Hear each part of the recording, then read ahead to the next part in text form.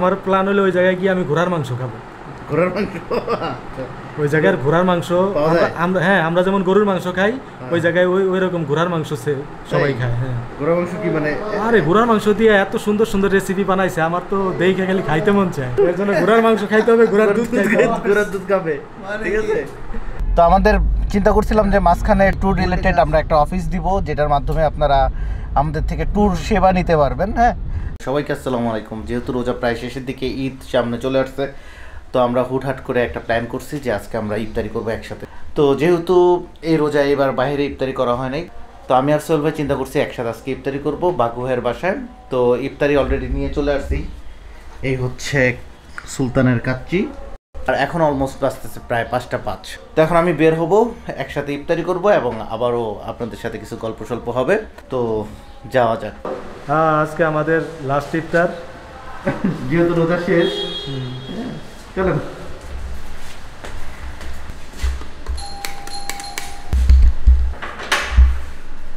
আসসালামু আলাইকুম। হ্যাঁ কি খবর? জিমাইতেছেন কেন? হ্যাঁ? আরে ভাই ঘুরি ঘুরি বৃষ্টি আসতেছে বুঝছেন? না বাইরে কুষ্টিয়া আরও বৃষ্টি হয়েছে। হুট করে বৃষ্টি শুরু হলো আজকে। কাচ্ছি খাওয়া হবে কাচ্ছি। যে। কাচ্ছি সুলতাস। সোহেল ভাইয়ের আমি ফোন দিয়ে ভাই কি খাবেন? বলো কাচ্চি লো। আজকে ওয়েদার তো ভাই কাচ্চি খাওয়ার ওয়েদার বাকি ভাই? বৃষ্টি সেই হওয়াতে পুরা। কুষ্টিয়াতে প্রচুর বৃষ্টি তারপরে সিরাজগঞ্জেও অনেক জায়গায় বৃষ্টি। আজকে সারা বাংলাদেশে বৃষ্টি হচ্ছে কিন্তু শুধু ঢাকা আমি ফোন দিলাম নারায়ণগঞ্জে আব্বা ঘুরি ঘুরি বৃষ্টি হইতেছে। সন্ধ্যার পরে বৃষ্টি। তাহলে আজকের জন্য কাচ্চি বেস্ট আজকে ওয়েদার তো কাচ্চি ডিমান্ড করে কাচ্চি বেস্ট মানে? বালি আস্তে আস্তে এই বালি খাবার কি ওজন বাড়ছে না কমছে আপনার আরে পুরো এক মাসে আমি ওজন মাপি নাই দেখি কত। কত? ও মাই গড তিন চার কেজি মনে হয় কমছে আগে তো ছিয়াত্তর কেজি ছিলাম আমি দেখি বাহাত্তর না তিয়াত্তর। আগে ছিয়াত্তর ছিলেন তার মানে তিন কেজি কমছে? যাক। রোজার মাসে তো সেই ডাইট শুধু ইফতার আর সেরি আর কোনো খাবার নাই। এইবার সিক্স প্যাক হয়ে যাব বাকু ভাই। বাকু ভাই একটু অক্টোপাস টক্টোপাস ভেজে খাওয়াবে। কি হইল ভাই? ওটা আগে কইতে না বাজি কয়টা? অক্টো অক্টোপাস আছে আপনার ফ্রিজে অক্টোপাস নাই ওটা স্কুই সুইট আছে। সমস্যা নাই স্কুইড একটা রেসিপি আমি চিন্তা করলাম ম্যাক্সিমাম মানুষ তো তোর যায় হইল কমন দেশগুলায়। যেমন মালয়েশিয়া সিঙ্গাপুর থাইল্যান্ড ঠিক আছে এই সমস্ত দেশে। তো আমি প্ল্যান করছি যে সমস্ত দেশে মানুষ যায় না। একেবারে চিনেই হ্যাঁ ওই সমস্ত দেশগুলো যেমন আজারবাইজান আর্মেনিয়া কিরগিস্তান কাজাকিস্তান ঠিক আছে উজবেকিস্তান। উজবেকিস্তান এই দেশগুলা নিয়ে একটা ই করলে কেমন হয়? ট্যুর ট্যুর দিলে কেমন হয়? চলেন আমি তো রেডি আছি। কারণ ওইখানকার কালচার অন্যরকম ঠিক আছে? অ্যারোবিক অ্যারোবিক মিক্স এটা তো আপনার মিডল ইস্ট পড়ে গেল তাই না? না মিডিল ইস্ট না এটা হলো তোর রাশিয়ার থেকে ভাগ হয়েছে আচ্ছা আচ্ছা আচ্ছা। আচ্ছা আর আপনার রাশিয়াও তো যাওয়া যায় রাশিয়া রাশিয়া ওই- ব্লকে রাশিয়াও আছে। রাশিয়া আর রাশিয়ার পাশে একটা আছে ইউক্রেন বেলারুস হ্যাঁ ইউক্রেন বেলারুস বেলারুস বেলারুস, হ্যাঁ বেলারুস যাওয়া যেতে পারে বেলারুসও অনেক সুন্দর। কিন্তু বেলারুসে নাকি একটু রাজনৈতিক প্রবলেম চলতেছে। না ইউক্রেনে চলতেছে। ইউক্রেনে না? আচ্ছা আচ্ছা আচ্ছা। আর ইয়ে হয়েছে ওই জায়গা ওই আমার প্ল্যান হলো ওই জায়গায় গিয়ে আমি ঘোড়ার মাংস খাব। ঘোড়ার মাংস? আচ্ছা। ওই জায়গার ঘোড়ার মাংস আমরা- হ্যাঁ আমরা যেমন গরুর মাংস খাই হ্যাঁ। ওই জায়গায় ওই ওই রকম ঘোড়ার মাংস সে- সবাই খায় হ্যাঁ। ঘোড়ার মাংস কি মানে আরে ঘোড়ার মাংস দিয়ে এত সুন্দর সুন্দর রেসিপি বানাইছে আমার তো দেখে খালি খাইতে মন চায়। হ্যাঁ কি কন বাকু ভাই? হালাল না? না বাকু ভাই ঘোড়ার মাংস হালাল। আরে চার পা তো। হ্যাঁ ঘোড়ার তো চার পা। চার পা আলা জীবের মাংস খাওয়া হালাল। ভাই ওই জায়গায় উজবেকিস্তান আজারবাইজান আর্মেনিয়া সব মুসলিম কান্ট্রি ওরা খাইতেছে না?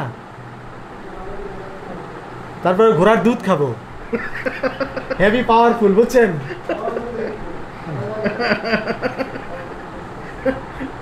ঘোড়ার এত পাওয়ার দিয়ে কি করবেন আপনি? এটা দেন না সবাই কয় ঘোড়ার হর্স পাওয়ার ঠিক আছে।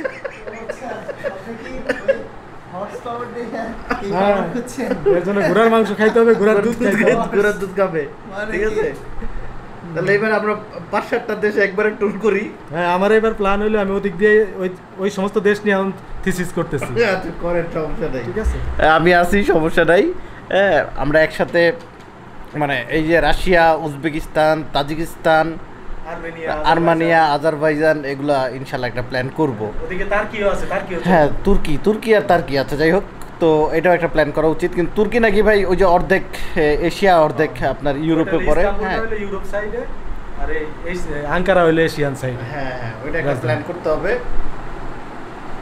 কিন্তু এটা ভাই একটা লং জার্নি হয়ে যাবে কিন্তু অনেক বড় বড় লং জার্নি বলতে কি আমরা ওইভাবেই প্ল্যান করব এক মাসের প্ল্যান করতে হবে। হ্যাঁ হ্যাঁ বড় বড় ট্যুর দিতে হবে। আর আপনি তো হয়রান হয়ে যান। ওই সময় তো করতে করতে আপনি টায়ার্ড হয়ে যান। একটু রেস্টের দরকার। আমরা তো এই পনেরো দিনের জার্নিতে আমার মনে হয় দশ দিন তো বিমানে ছিলাম। তা ঠিক তা ঠিক। ছিলাম। কারণ এয়ারপোর্টে যাইতে হইলে তোর মিনিমাম তিন চার দুই তিন ঘণ্টা আগে যাইতে হয়। তারপরে আবার ওইখান থেকে ইমিগ্রেশন করে বাড়াইতে বাড়াইতে আরও দুই তিন ঘণ্টা। পুরো এয়ারপোর্টেই টাইম সব শেষ। হ্যাঁ হ্যাঁ তা ঠিক। তো মোটামুটি এইবার এই করোনা ভাইরাস প্যান্ডামিকটা শেষ হইলে প্ল্যান আছে ওদিকে ইয়ে মুভ করার। কি জানি কয় এই যে আজার বেজান যখন স্বাধীন হইল কিছুদিন আগে। যাই হোক আমার একটা প্ল্যান ছিল যেটা সেটা হচ্ছে মানে আমি এবার চিন্তা করছিলাম যে যদি লকডাউনটা খুলে দেয় এক মাসের জন্য থাইল্যান্ডে চলে যাব কোনো এক চিপায় যে পড়ে থাকব এক মাস। যেমন আপনার এটা হইতে পারে একদম উপরের দিকে ম্যাপের একদম উপরের সাইডে হ্যাঁ? না না ফুকেট না। মানে যেখানে ট্যুরিস্ট যায় না। মানে লোকাল পিপলদের সাথে এক মাস থাকার চিন্তা ভাবনা করছিলাম যে একবার থাইল্যান্ডে গেলে একদম একদম উপরের সাইডে কোনো একটা একদম গ্রামে যে থাকব। কিন্তু খুললেই তো না হ্যাঁ? মানে এই প্যান্ডামিক তো আরও বেড়েই চলতেছে জানি না এই আশা কবে পূরণ হবে। এটা খারাপ না এটা লোকাল পিপলদের সাথে একদম হ্যাঁ, এটা- এটা একটা ডিফারেন্ট একটা এটা একটা ডিফারেন্ট মজা। ভালোই লাগে। আমি যেমন মালয়েশিয়ার গ্রামে অনেক গেছি তো ওরা কাম্পং বলে। ওদের গ্রামের ওগো অনেক মানুষরা দেখলে রেসপেক্ট করে দেখলে রাস্তায় যাচ্ছেন লোকাল দেখলে ইসলাম আলাইকুম ঠিক আছে? ওরা দেখলেই বুঝে। মালয়েশিয়ান মালয়েশিয়ানরা অনেক। তো ইন্দোনেশিয়া দেখলি না? আমরা সাইকেল নিয়ে ঢুকে গেলাম ওরা সালাম দিতেছে। হ্যাঁ হ্যাঁ হ্যাঁ হ্যাঁ। সেম আর লোকাল সাইডে গেলে ওদের যে লোকাল যে ফুডগুলা ওগুলা স্বাদ নেওয়া যায়। সেই মজা তো। আপনি তো এই যে ইয়াতে আমরা কম্বোডিয়াতে খাওয়া হলো ভিয়েতনামে খাওয়া হলো যে আমগুলা হ্যাঁ আমার টেস্ট কিন্তু সেই। অনেক টেস্ট ইভেন আমি থাইল্যান্ডও খাইছি হেভি টেস্ট ওই সাইডে মালয়েশিয়া সেম ওই এই যে সমস্ত মালয়েশিয়া ইন্দোনেশিয়া এক সাইড তো ওদের আমগুলো অনেক টেস্ট তাছাড়া অনেক যে যে রামভুতান তুই তো খাইলি না। রামভুতানও সেই টেস্ট ডুরিয়ান আপনি যে সাপ খাইলেন না এটা তো হইল না পাবলিককে তো দেখাইতে চাইছিলেন সাপ। এখন ওই- খাওয়ানো। আসলে দেখাইলেন না। ওই জায়গায় তো সাপ নাই যে জায়গায় আমরা খাইলাম সাপ তো ছিল না ছিল না। ওই যে ঝিনুক তারপরে অক্টোপাস তারপরে ইয়া আরও কি কি ছিল জানি? এই চার পাঁচটা নাম জানি না। হ্যাঁ লতা পাতা। তো ভালোই লাগছে। হ্যাঁ, হ্যাঁ। না আবার আবার ট্যুর দিতে হবে। আবার ভিয়েতনাম যেতে হবে। ভিয়েতনামের আরেকটা চিন্তা ভাবনা থাকতে হবে। এবার ভিয়েতনাম গেলে ভিয়েতনামেরও কিছু মানে একদম লোকাল এরিয়া যেগুলো আছে পাহাড়ি অঞ্চলগুলা হ্যাঁ? বা ওইখানকার যেই তোর যে ল্যান্ড যে জমিগুলা হ্যাঁ সারি হ্যাঁ, সারি। যেখানে ধান চাষ হয় এরকম যাওয়ার ইচ্ছা আছে। কিন্তু ভিয়েতনামে বাইক চালায় সেই মজা বিশাল বিশাল রাস্তা। মনে হচ্ছিল যে পুরো ভাইস সিটির গাড়ি চালাইতেছি এমন অবস্থা। হ্যাঁ রাস্তাগুলো বড় বড় ঠিক আছে। আর যেহেতু একজন সাথে ছিল হ্যাঁ লোকাল মেয়েটা থাকার কারণে আর কোনো ভয় লাগে নাই চারদিকে মুভ করা গেছে। সব রাস্তাঘাট চিনা তোর ভালোই লাগছে। এরকম লোকাল একজন গাইড থাকলে ভালো হয়। হ্যাঁ কারণ আমরা যেমন কেউ যদি বাইরের বাইরের দেশ থেকে আসে আমরা ঢাকাটার ইজি দেখাইতে পারব। হ্যাঁ হ্যাঁ তো ওই বাইরের লোকটা এসে তো আর ওইভাবে চিনবে না। বিভিন্ন লোককে জিজ্ঞেস করবে এই জায়গায় যাব কীভাবে? লোকেশন কি? এর জন্য যে কোনো দেশে একজন যদি লোকাল লোক থাকে অথবা গাইড থাকে তাহলে ইজি হয়। সুবিধা হয়। সোহেল ভাই কিন্তু আমাকে প্রথম প্রথম ভিডিওর ক্ষেত্রে অনেক প্যারা দিত। এই এত দেরি করো কেন? এই জোরে হাঁটো এই তাড়াতাড়ি হাঁটো। হ্যাঁ, এই তোমার লিখে দেরি হয়ে গেল। ঠিক আছে? এখন অবশ্য উনি বুঝছে। আসার পর ভিডিও এডিট করার পর যখন ভিডিও আপলোড হয়েছে তখন বুঝছে যে এটা মেমোরি হ্যাঁ? এই মেমোরিটা কত ইম্পর্টেন্ট কি ভাই হ্যাঁ এক্স্যাক্টলি তখন আর কি বুঝি না এই ব্যাপারটা। তখন যে মানুষের সাথে একটা কনভারসেশন করতে হবে কথা বলতে হবে আপনার যে একটা ফ্যান বেস তৈরি হচ্ছে দর্শক তৈরি হচ্ছে হ্যাঁ সেটাই। এর দাম তো বুঝেন নাই ঠিক আছে? আচ্ছা আপনার কোনো দর্শকদের সাথে কখনো দেখা হয়েছে সেটা বলেন। হ্যাঁ আরে আল্লাহ আমি আমার জিমেই তো আমার জিমে এক মেয়ে কইতেছে ভাইয়া আপনি তো আমি ইউটিউবে দেখছি আপনি কোন ব্লগে ছিলেন আমি কি হ্যাঁ হ্যাঁ আমার জিমেই। আর আরেকদিন গুলশানে পাঠাও রাইড নিয়ে আমি ধানমন্ডিতে আসব। এখন বলতেছি যাবেন গুলশান এই ধানমন্ডিতে? হ্যাঁ বলতে যাব। ভাইয়া আপনার তো আমি চিনছি। আপনি সোহেল ভাই না? আমি কি আপনি আমার কীভাবে চিনেন? তো আপনারা আমি যে ইউটিউবে দেখছি রিস বিবাহের ব্লগে। আমার নেক্সট প্ল্যান কি? কবে যাবেন? তারপরে তো এই প্যান্ডামিক চলে সেটা তখন আমার কাছে খুব ভালো লাগে। আসলে আমার মানুষ চিনতেছে। হ্যাঁ ভালোই লাগে। হঠাৎ করে যারা নতুন করে আপনাকে ভালোবাসবে তাদের উদ্দেশ্যে কিছু বলে দেন। যে আমাকে ভালোবাসেন বেশি বেশি? আপনাদের ভালোবাসা পেলেই আবার নতুন সফর শুরু হবে। হ্যাঁ অবশ্যই। তোর অডিয়েন্স যারা দর্শক আছে ওদের তোর যত ভিউ যত লাইক বাড়বে ঠিক আছে? ততই তুইও ইন্সপায়ার হবি। আর আমার তো বেসিক্যালি ঘোরার বহুত শখ ঠিক আছে? আমার তো প্ল্যানই ছিল আমি সারা ওয়ার্ল্ড ঘুরবো। আচ্ছা। আমার এটা ফিউচার প্ল্যান ছিল। তো অলমোস্ট মোটামুটি দশ বারোটা কান্ট্রি ঘোরা হয়ে গেছে। অনেক জায়গায় দুইবার তিনবার করে যাওয়া হয়েছে। তো এবার এর জন্যই প্ল্যান এবার ওই সাইডটা যেটা রাশিয়ার থেকে ভাগ হয়েছে যেটা আগে সোভিয়েত ইউনিয়ন ছিল এখন ভাগ হয়ে যেটা ওই কাজাকিস্তান উজবেকিস্তান আজারবাইজান আর্মেনিয়া। না আশা করি সমস্যা হবে না যেহেতু আমরা এর আগে ট্রাভেল করছি আর আমাদের ব্লগ অনেকেই দেখছে এই অনেক ইমিগ্রেশন অফিসাররাও তো এখন আমাদের চিনে।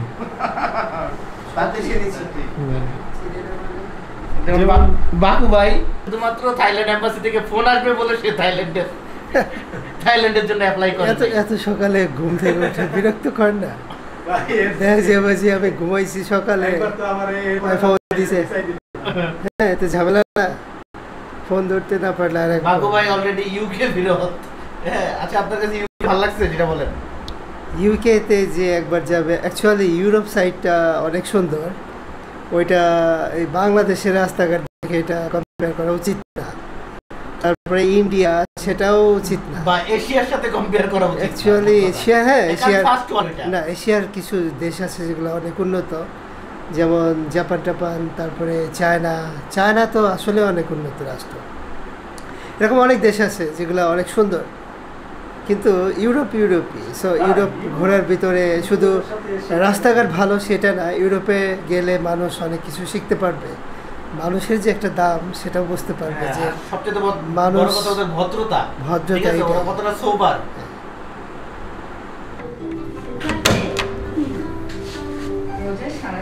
কি তুমি কই দিকে আসলা এত এত দেরি করে হ্যাঁ? রাস্তায় প্রচুর জ্যাম। জমজম পানি দাঁড়ায় খাইতে হয়। পশ্চিম দিকে পানি? এটা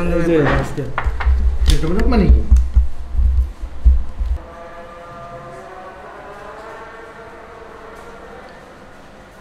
এটা আমার স্পেশাল রেসিপি আমি প্রতিদিন এটা খাই এটার সাথে অনেক কিছু আছে। হাই প্রোটিন হাই এটা হলো দুধ পিনাট বাটার কলা খেজুর। মিক্স মিক্সড এটা তো। তো বন্ধু খাওয়া শেষ? হুম? আবার পাসপোর্ট কাচ্চি খাবে না কাচ্চি নামাজ পড়ে। নামাজ শেষ করে? আসো নামাজটা শেষ করে ফেলি। জায়নামাজ আছে এই জায়নামাজ আছে।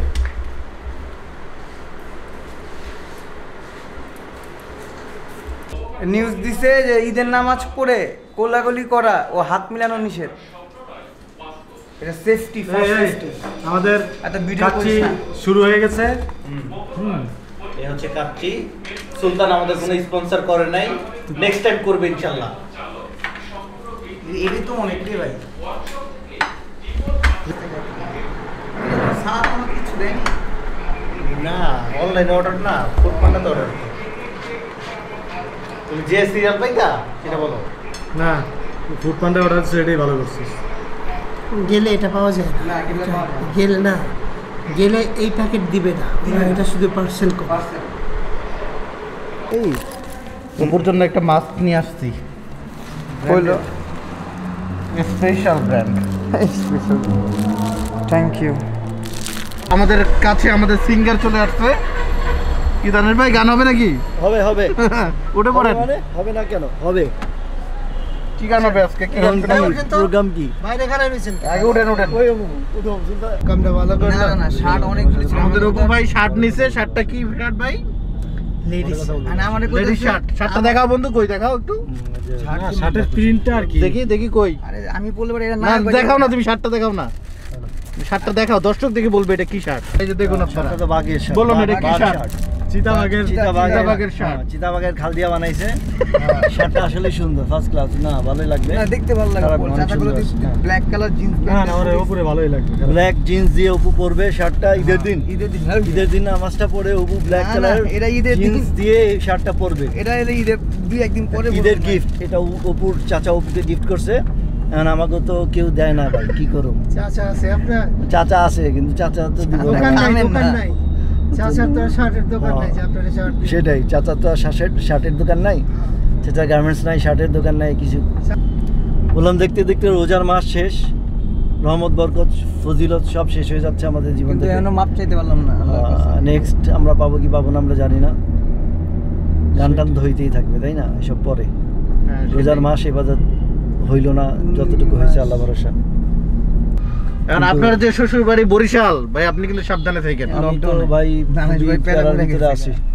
এখন ঈদের চিন্তা করছিল ঈদের দিন আপনি সাঁতার জানেন? না। দানের ভাই তো সাঁতার পারে না? আমি সাঁতার জানি, কিন্তু ওই সাঁতারে কোনো কাজ হবে না ভাই। হবে না বরিশাল নদীতে গেলে কাম হইব না। আর আমার সেই নাইনটি এইটি এইটের সাঁতার শেখা সেই সাঁতার দানেশ। ভাই এইটি এইটে সাঁতার শিখছে বোঝা উচিত হ্যাঁ। দানেশ ভাই এইটি এইট মানে উনিশশো অষ্টআশি। আমার জন্মের সময়। নাকি আঠারোশো অষ্টআশি? উনিশশো অষ্টআশি। ভাই। ভাই কবে আমাদের ঘুরতে নিয়ে যাচ্ছেন? বরিশাল সেটা বলে আমরা তো এখন ঘুরতেছি অন দ্য ওয়েতেই আছি। না না এটা তো বরিশাল না এটা তো ঢাকাতে আমরা বরিশালে এখন মানে ঝড় বৃষ্টির দিন এখন হ্যাঁ, যাওয়াটা একটু বরিশাল কোন জায়গায়? উজিরপুর। উজিরপুর।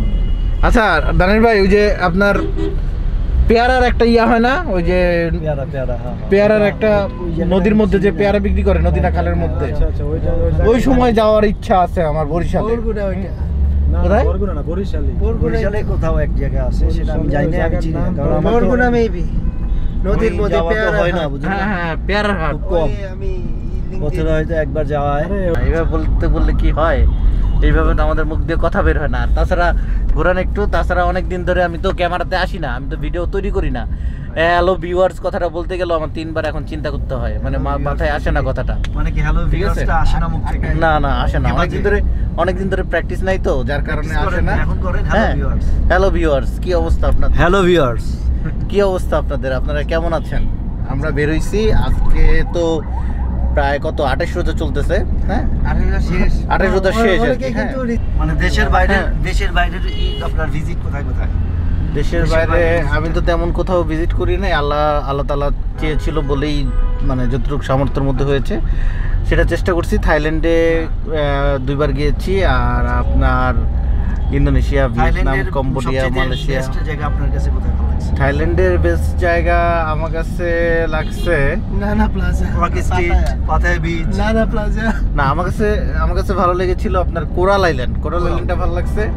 এটা মোটামুটি ন্যাচারাল একটা আইল্যান্ড হ্যাঁ। অনেক সুন্দর একটা পরিবেশ ভালো। বেশি বিখ্যাত হ্যাঁ। কি আছে? ওইখানকার বিখ্যাত কিছু না ওইটা আমার একটা সেন্ট মার্টিনের মতো বা ওই টাইপের একটা ছোট একটা আইল্যান্ড হ্যাঁ ওই ফেরি পার হয়ে যেতে হয় বা স্পিড বোটে যেতে পারবেন এই আর কি সুন্দর।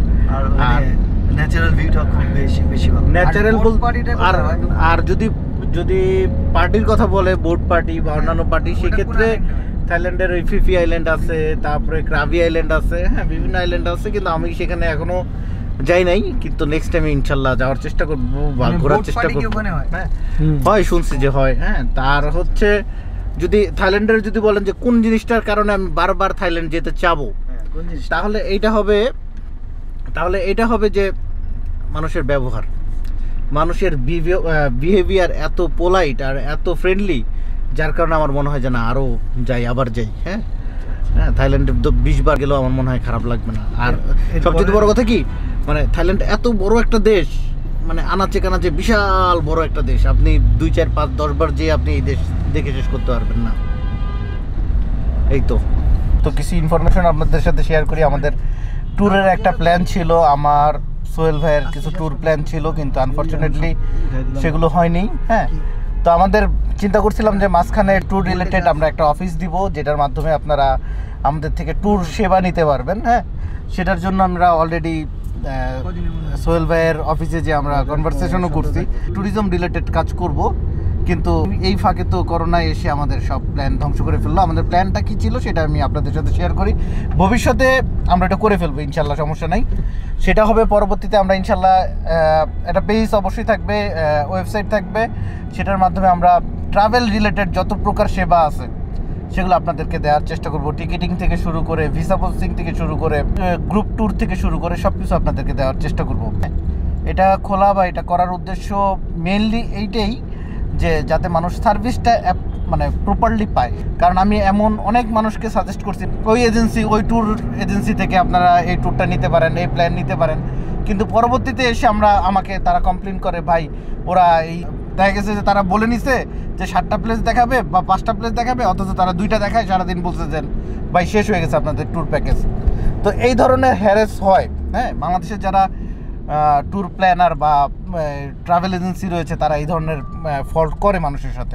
এই ধরনের যাতে ফল্টে না পড়ে মানুষ অলরেডি একটা ফেসবুক পেজ খোলা হয়েছে হ্যাঁ ট্রাভেল রিলেটেড সেই পেজের লিঙ্ক অলরেডি এই ভিডিও ডিসক্রিপশন বক্সে দেওয়া হয়েছে। আপনারা সেটা চেক করে সেখানে লাইক দিয়ে কানেক্টেড থাকতে পারেন।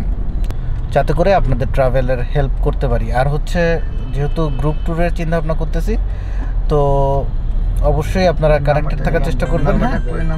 তাহলে গ্রুপ ট্যুর দেওয়া যাবে। একসাথে দেখা গেছে দশ বারো জন পনেরো জন বিশ জন একসাথে গ্রুপ করে আমরা ট্যুর দিতে পারব। এটা যাবে সম্ভবত কোথায় ভাই? মানে যে সিবি চত্বরের আগে। এখান থেকেই কই যাবে? এই জাস্ট কালসি পার হয়ে নামাই দিছে এটা। ও আচ্ছা আচ্ছা। এটা নতুন ফ্লাইওভার কালসি জ্যাম লাগে তো সেই জন্য।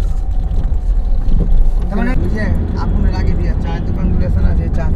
বাকু ভাই আমাদের সারা ঢাকা শহর ঘুরায় এখন নিয়ে যাচ্ছে খিলগাতে। কফি খাওয়াইতে। আমার বেশি মন লাগবে না হুম, এই হলো ঢাকা শহর আমাদের সিঙ্গাপুর ঢাকা শহর। ঠিক সব জায়গায় সিঙ্গার এসছি। আমরা চলে আসছি কোথায় ভাই? এটা হইল Khilgaon Apon coffee shop. Apon coffee shop তো না এটা। আছে। সবাই ব্যবসা করে। এক কাপ চা ফু দিয়ে খা। তো না ভাই দোকানের নামই ভাই ওই যে এক হ্যাঁ, কাপ অনেক অনেক নামই তো আছে। নামেন নামেন। ঠান্ডা গরম। নামেন।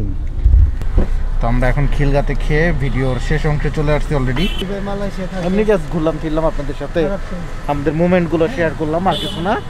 এটার মধ্যে কোনো ইনফরমেশন নাই জাস্ট ভিডিও দেওয়া দরকার আপনাদের সাথে কানেক্টেড থাকা দরকার যার কারণে ভিডিওটা করলাম।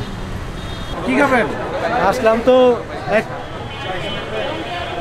চা স্টলে আসছি কি কি চা লেবু চা এই হচ্ছে আমাদের চা। তো দিয়ে খা। দেরি করে আসলা কেন বলো? আমার কোনো দেরি নাই ভাই আমি